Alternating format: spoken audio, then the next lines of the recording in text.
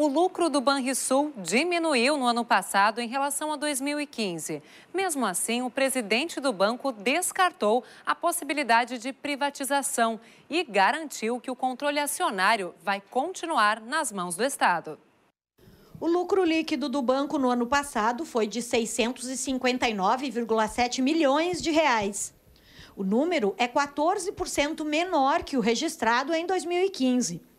A crise econômica refletiu nesse desempenho negativo. A carteira de créditos do Banrisul teve uma redução de 5%.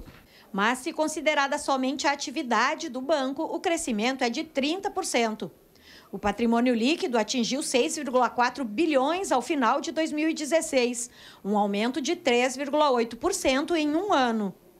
Os ativos totais tiveram um saldo de 69 bilhões. O presidente do Banrisul negou a possibilidade de privatização do banco. Não está no, nosso, não tá no nosso radar, não está no time e não está no time do governo também.